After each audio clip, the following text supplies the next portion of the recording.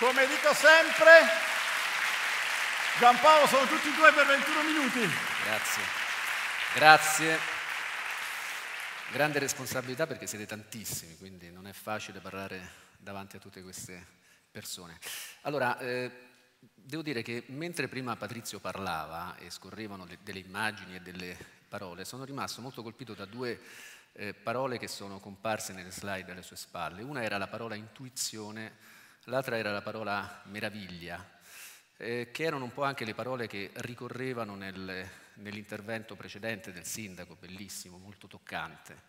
Ieri, sempre, ieri sera parlando con Patrizio per cercare un po' così di inquadrare l'intervento di oggi, io gli ho detto guarda Patrizio, io non ho preparato assolutamente nulla, salirò sul palco e proverò a tirar fuori quello che mi viene in quel momento.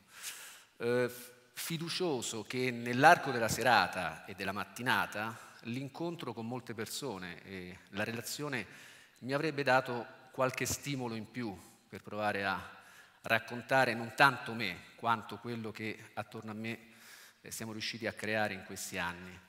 Ehm, la cosa è avvenuta puntuale in termini di intuizione. Poco fa, mentre ero nel, nel camerino per le attività di trucco e di preparazione di microfonaggio, eh, il mio carissimo amico Gianluca Bianco, che è uno di coloro che organizza attivamente questo evento, mi si è avvicinato e mi ha fatto vedere un piccolo, una piccola statuina, un piccolo manufatto di un artista qui di Assisi, che è praticamente una piccola terracotta plasmata apparentemente senza forma, ma che a seconda della posizione in cui si, eh, si gira prende diverse forme. È una Madonna pregante, è una colomba, è una donna incinta. Eh, e allora mi è venuto in mente che uno degli aspetti fondamentali del nostro tempo è proprio il recupero della magia dell'immagine. Ehm, allora, io salgo su questo palco e sono costretto a darvi, Patrizio me lo perdonerà, una cattiva notizia.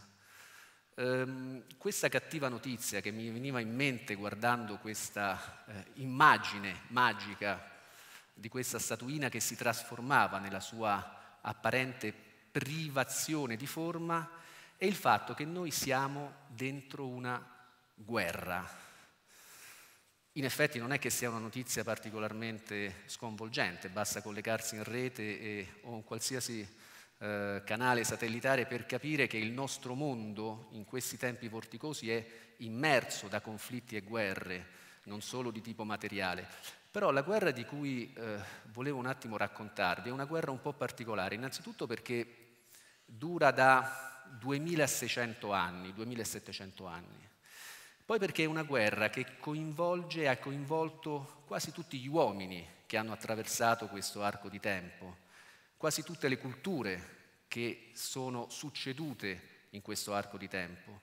Ed è una guerra molto strana perché è una guerra che si vive al di fuori di noi, perché come tutte le guerre crea fratture, divisioni, ricomposizioni, riorganizza gli assetti sociali, crea lacerazioni indelebili, però è anche una guerra che gli uomini vivono da 2500 anni circa anche dentro se stessi. Questa è la guerra tra l'immagine e la scrittura ed è una guerra eh, che si gioca senza esclusione di colpi perché la partita in gioco è il modo in cui il sapere e la conoscenza possono essere trasmessi e possono essere eh, in qualche modo raccontati.